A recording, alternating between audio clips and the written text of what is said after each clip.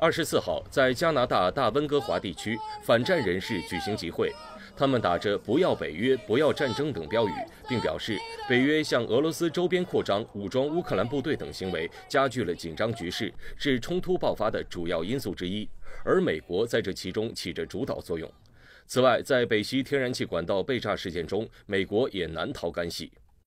NATO members have been responsible for the devastation of, uh, of um, uh, Syria, of Iraq, um, of so many different countries um, that have been facing war and occupation in the last uh, 20 so years. So NATO has proven time and time again to be a force of war and destruction. The United States is a huge force in this world and not a force for peace, is a force for war.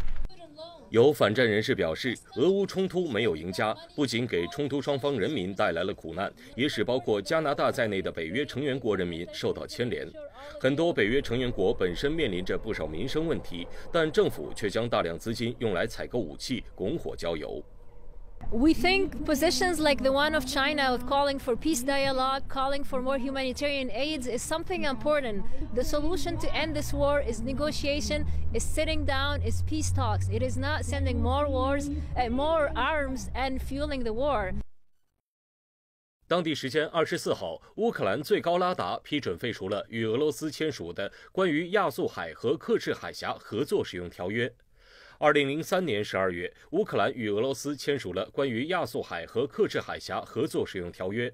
根据该条约规定，凡悬挂乌俄两国旗帜的商船和军舰均可享有亚速海和克赤海峡的航行自由。